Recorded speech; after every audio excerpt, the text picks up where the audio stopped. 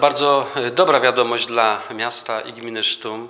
E, Nasza firma, największa firma na ziemi sztumskiej, fabryka mebli Elita ze Sztumskiego Pola, podjęła decyzję o budowie, o budowie drugiej fabryki mebli, dużego centrum logistycznego.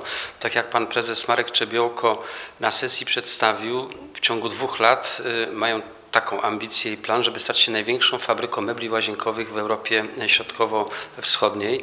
Cieszymy się z tego bardzo, że nasz teren inwestycyjny e, doczekał się e, tego e, największego inwestora. Jest on bardzo dobrze przygotowany pod względem komunikacyjnym, jest niezbędna infrastruktura. Radni również podjęli uchwałę o ulgach podatkowych do 200 tysięcy euro zgodnie z dyrektywami unijnymi.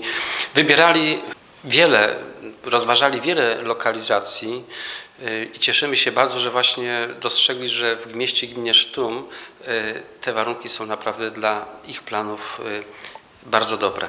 Firma Elita nie jest jedyną firmą, która wykupiła grunty w Pomorskiej Specjalnej Strefie Ekonomicznej. Można powiedzieć, że praktycznie prawie wszystkie grunty zostały wykupione przez różne firmy.